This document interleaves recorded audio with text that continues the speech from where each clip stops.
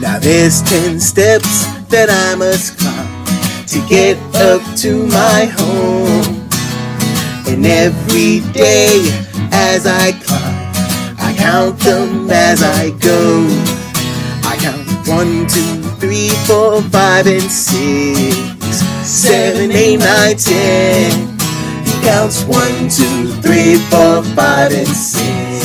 six, seven, eight, nine, ten.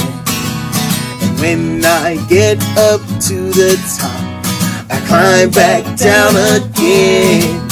I count 10, 9, 8, 7, 6, 5, 4, 3, 2, and 1. He counts 10, 9, 8, 7, 6, 5, 4, 3, 2, and 1.